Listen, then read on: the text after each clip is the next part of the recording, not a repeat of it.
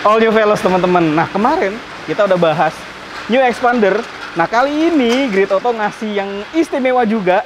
Dan kali ini juga di Permaisuri Ban bareng Erik lagi. Ikutin terus.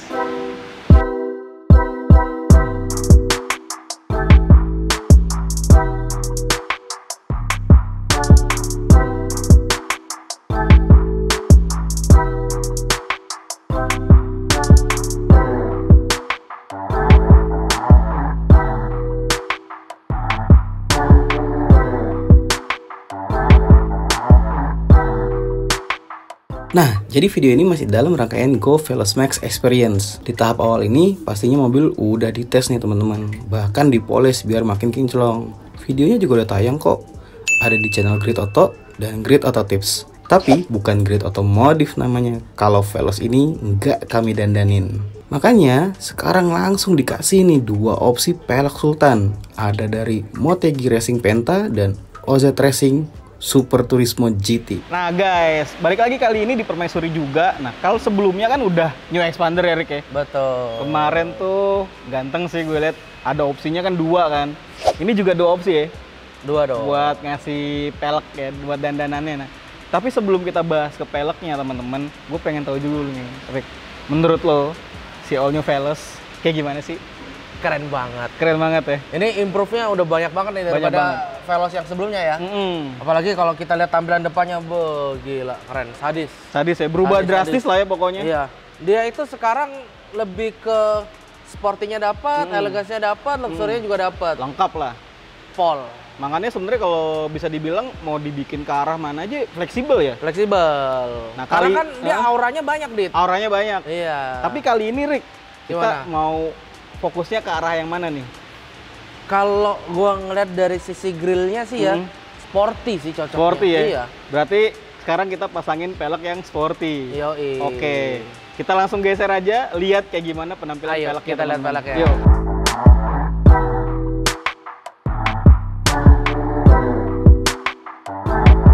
Dari samping, ah gue gua mau mau ngasih tahu frontal sampingnya dulu teman-teman. Kayak gini ya. Warnanya hitam ya. Keren nggak? Ini keker banget sih. Karena mobilnya udah hitam putih, Dit. Tadi gua ngeliat mobilnya putih, terus kacanya kan hitam nih. Heeh. Jadi matching juga. Kita Matching ya. bikin auranya lebih sporty lagi. Cakep nih. Terus ada kayak semacam garis merahnya gitu Iya. ya. Red line-nya dia. Red line-nya. Nah, makanya biar kita fokus langsung aja nih. Bagian Oke, depan aja nih. Bagian depan.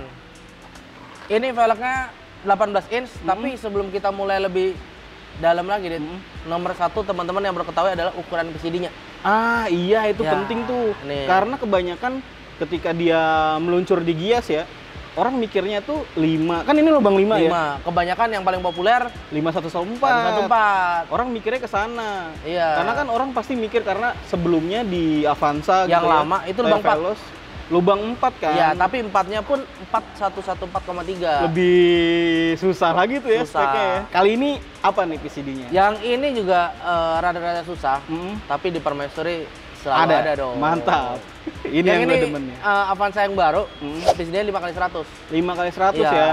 Bawaannya tadi ring berapa? 17 ya? 17. Veloz tuh 17. basicnya 17 teman-teman. Oke, kita upgrade tipis-tipis aja karena ini kan Hmm. mobil keluarga ya. Hmm. Eh, nggak bisa yang terlalu ekstrim karena pasti mobil Avanza ini banyak kan dipakai buat harian, Dit. Iya. Jadi yang light modif tapi hasilnya sih cukup nendang juga ya. Iya, ganteng tapi tetap akomodatif Ya. lah teman-teman. Ini velgnya kita ambil dari Motegi Penta, Mm-mm. finishingnya matte black dengan red stripe.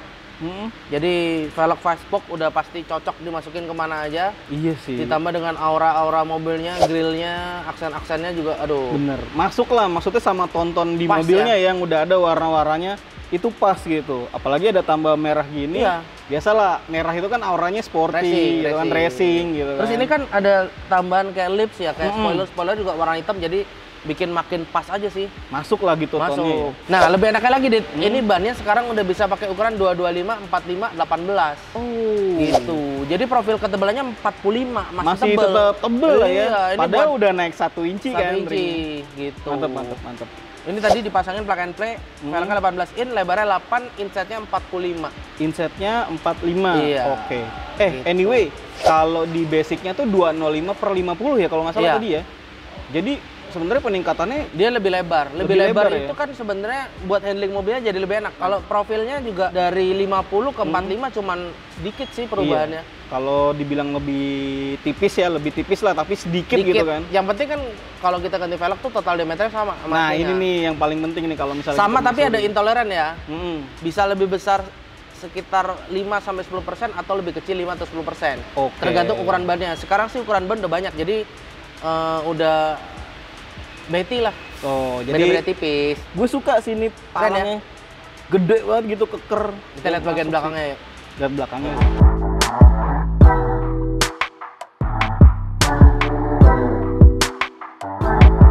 Oke, dari geser belakang kita jongkok lagi kali ya, Ya, biar lebih jelas. Biar lebih jelas.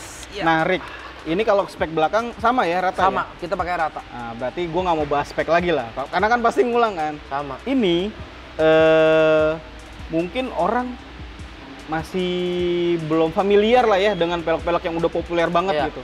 Nah, anyway, pasti yang pengen orang cari tahu harganya, Rick. Harganya, ini velg ori tapi harganya ekonomis lah. Ekonomis, Harga bersahabat. bersahabat ya. Iya, ini brandnya Motegi, brandnya Hmm. dari USA tapi dia udah dibikin di pabriknya di Tiongkok. Oke. gitu. Dan untuk velg 18 inch ini, Hmm. Dit, original, harganya cuman di belasan juta. Wow. cukup affordable lah ya. Banget. Banget ya. Di compare harga mobilnya, harga mobilnya sekarang udah berapa? oh, 300-an ya. 300-an. Anyway, Rick, Ya. ini peleknya kita udah bahas detail ya. Ha-ha. Cuma belum belum bahas satu nih. Ini dibuatnya apa? Plowform, casting, Ini forge, casting. casting ya. Casting. Oke oke. Tapi tetap cakep nih, kokoh ya. Cakep. Keren keren keren. Gue suka finishingnya sih. Nah, ada satu lagi di sisi kanan lah. Ya. Itu kayak gimana? Makanya kita putar dulu juga mobilnya. Ikutin terus.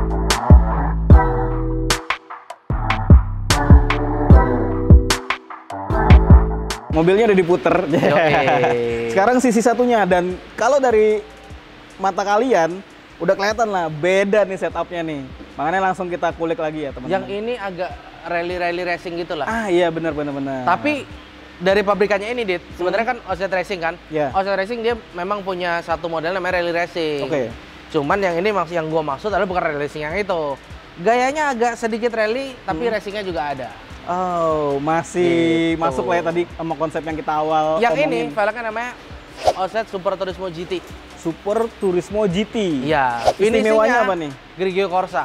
Grigio Istimewanya dibikin di Italia. Dibikin di Itali. Yoi. Wow. Meskipun Keren keren keren. Veloz ini desain kali anak bangsa, kita kasih velg Itali. Itali. Keren keren. Ah, kita lihat makin langsung kali teman-teman. Oke, siap. Rek. Nah, ini masih 18 inci Rik ya? Betul. Sama ya. Tapi gue ngeliat sih emang kalau ngomongin aura beda banget ya. Ini soalnya kelihatan lebih gede, Dit. Mm. Tahu nggak apa yang bikin gede? Apa tuh? Karena spoknya ini sampai ujung. Oh, Gitu. ilusi optik gitu ya. Iya, dari desainnya. Bener bener bener. Jadi kalau velg-velg yang desain spoknya sampai ujung Hmm. bibirnya sini, itu pasti kepasang kelihatan lebih gede. iya sih. Gitu. Gue selalu suka sama desainnya OZ nih ya, yang model spoknya kayak gini gitu ya.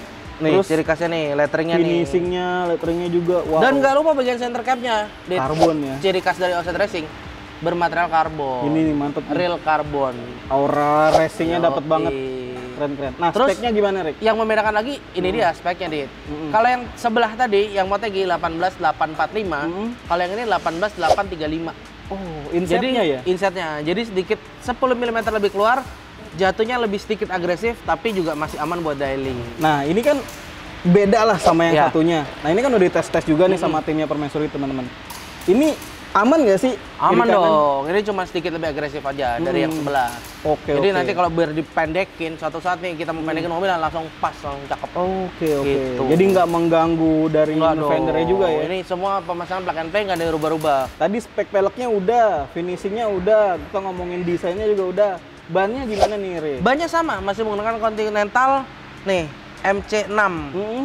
Ukurannya 225 45 18. Oh, sama berarti. masih sama. yang Cuman karakter bannya ini setolnya agak sedikit berbeda dengan yang satunya karena ini velgnya kan speknya beda dikit. sama. Oh, iya iya. iya. Secara kasat mata sama, tapi kalau kita lihat secara detail sedikit beda. Sedikit aja. Oke. Itu.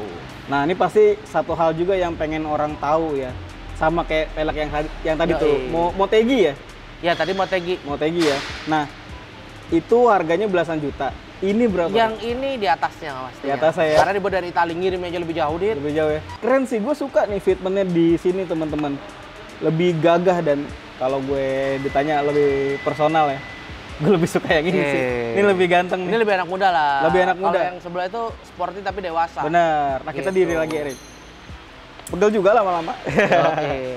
Tapi kalau gue boleh menilai, Hmm. tentu saja Erik juga punya selera sendiri-sendiri dan teman-teman juga pasti punya Betul. seleranya sendiri-sendiri. Makanya komentar menurut kalian yang lebih bagus yang mana, yang lebih yang lebih gue banget yang mana lah ibaratnya gitu. Kalau buat anak muda pasti yang agresif dit. Oke, pasti yang agresif Oh, ya. i- Iyalah. Tapi ya mungkin masing-masing punya pertimbangan Pendapat lah, ya. tergantung juga keperluannya, Keperluannya, juga. bener. Tapi sebenarnya meskipun ini agresif, bukan berarti nggak bisa pakai harian ya. Nah itu dia. Masih bisa, masih Kesamaannya dan kesimpulannya dari dua pelek ganteng ini sebenarnya lo tetap bisa ganteng dan tetap bisa aman dan tetap bisa akomodatif. Ah anyway Erik, Ya, kan tadi kita ngomong tadi PCD-nya 5 kali 100 ya. Betul. Ternyata OZ ada juga ya 5 kali Ada 100 ya. Berarti ada pilihannya lebih banyak juga di sini. Banyak. Coming soon mungkin Pasti ada. karena ini mobil masih baru banget nih. bakal lebih Ini banyak ya. Masih hangat, masih panas. Masih hangat ya. Oke oke.